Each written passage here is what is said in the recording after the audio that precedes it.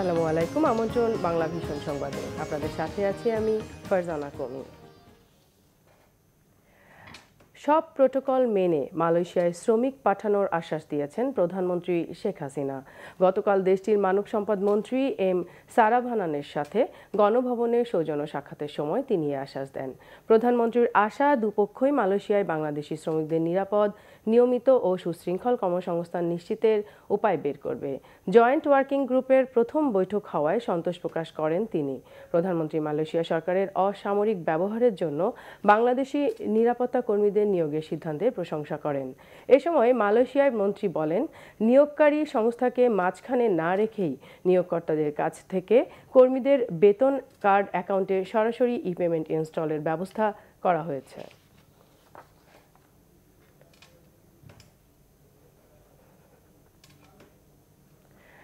কোরবানি ঈদের সময়ে ভোজ্য তেলের ঘাটতি হবে না বলে জানিয়েছেন এফবিসিসিআই।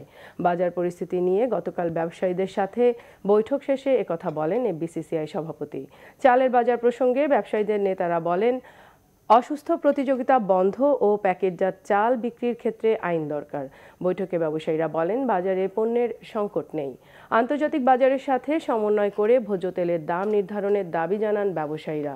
সুযোগ পেলেই দাম বৃদ্ধি ও অসুস্থ প্রতিযোগিতা থেকে ব্যবসায়ীদের বেরিয়ে আসার আহ্বান জানান এফবিসিসিআই সভাপতি। জানান, বেকারি পণ্যের দাম বৃদ্ধির বিষয়ে সংশ্লিষ্ট খাতের ব্যবসায়ীদের ডাকবে এফবিসিসিআই যুক্তরাজ্য জুড়ে বন্দুক সহিংসতায় ঘটনা বেড়ে যাওয়ায় কঠোর অস্ত্র নিয়ন্ত্রণ আইনে, আইন প্রণয়নে কংগ্রেস সদস্যদের প্রতি জোরালো আহ্বান জানালেন মার্কিন প্রেসিডেন্ট জো বাইডেন। এ প্রসঙ্গে হতাশা ও ক্ষোভ প্রকাশ করেন। বাইডেন বলেন, আর নয়, যথেষ্ট হয়েছে। হোয়াইট হাউসে সংবাদ সম্মেলনে সামরিক কাজে ব্যবহার করা হয়। এমন অস্ত্রের অবাধ বেচা কেনায় নিষেধাজ্ঞায় দেয়ায় আহ্বান জানান মার্কিন প্রেসিডেন্ট। বলেন, অস্ত্র কেনা ন্যূনতম বয়স আঠারো থেকে বাড়িয়ে একুশ করা এবং তাদের অতীত কর্মকাণ্ড খতিয়ে দেখার নিয়ম চালু করা উচিত।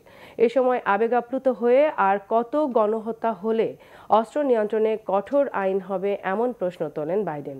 অস্ত্রের অবাধ ব্যবহারের নিয়ন্ত্রণের, কঠোর আইনের প্রবর্তনের একাধিক উদ্যোগে রিপাবলিকান পার্টির বিরোধিতার ইতিহাসও তার বক্তব্যে উঠে আসে।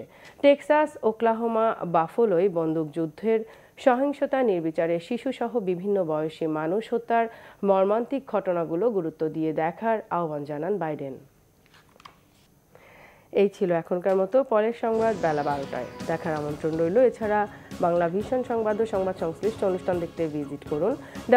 W VV news twenty four dot com ও Facebook dot com slash Bangla vision নিউজে এবং সাবস্ক্রাইব করুন YouTube dot com slash Bangla vision নিউজে ধন্যবাদ সবাইকে।